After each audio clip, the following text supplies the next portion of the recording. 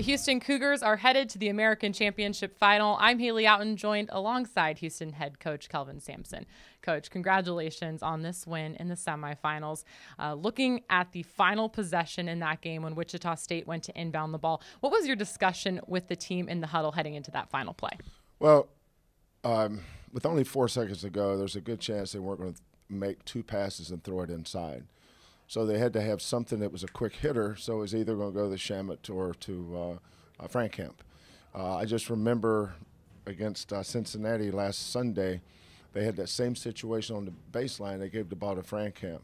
So we decided to, uh, if there's any kind of cross action or, or uh, screening action, we were going to switch that. So um, know, sometimes you guess right in those situations. Uh, we we certainly guessed m- right much the second half because we couldn't guard them the second half. They were kicking our butt there. But uh, you know, our, our toughness, our, our will, um, not giving in, uh, helped a lot. But um, that's a good team.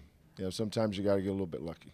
You mentioned in the press conference that you pulled Rob Gray early in the first half because you weren't happy right. with his how he was performing rather, but he carried the scoring load tonight 33 points for your senior. How clutch was he when you needed him the most? Yeah, Rob and I have a good relationship, and he knows that I have a short leash when he's out there performing. There's a difference in performing versus competing. You know, when you're when you're competing, you're, going to war. There's a difference in fighting a battle and going to war. Um, so I, I just took him out of the game. I said, Rob, you know, sometimes we're better with you over here than we are with you out there. You got to figure out how hard you want to play tonight. So uh, but he, he, knows he knew I was going to put him back in eventually. I uh, probably kept him out a little bit longer than he thought, but um, you know we were down with him in there, and then we got to lead with him out, and that that's happened uh, quite a few times this year. But we don't win this game without Rob Gray. Uh, he's he's another winner. He shows you what he was made of in that second half. When you look back to four years ago when you took over this program, and you look at right now, you're playing in the American Championship final, and your team is headed to the NCAA tournament. What is it like to be in this moment?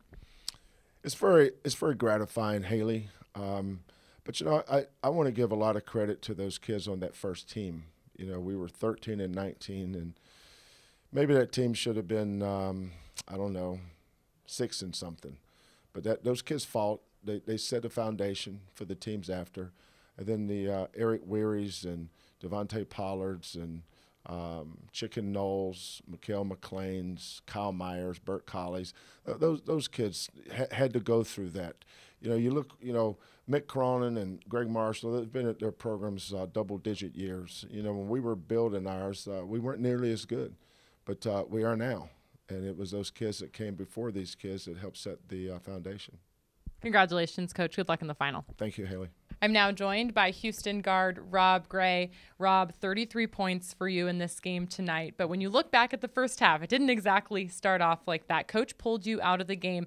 Uh, what did that do to impact the rest of your performance tonight?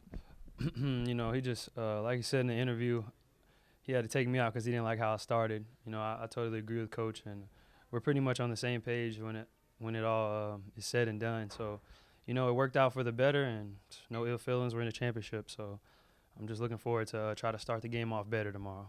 You carried a significant portion of the scoring load. At what point in the second half did you feel it click for you?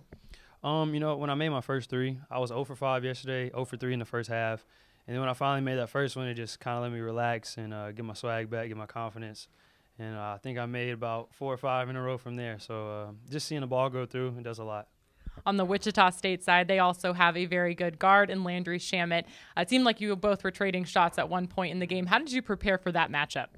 Um, well, I was really guarding him that much. Uh, Galen and Corey took on that load, but um, you know, I, just, I always want to outcompete or um, or outplay whoever uh, the other team's best team is, best player is. And in, in this instance, we know Shamet's a very good uh, player, first team all conference. So it's just a competitive nature and uh, wanting to do anything to make it to the championship.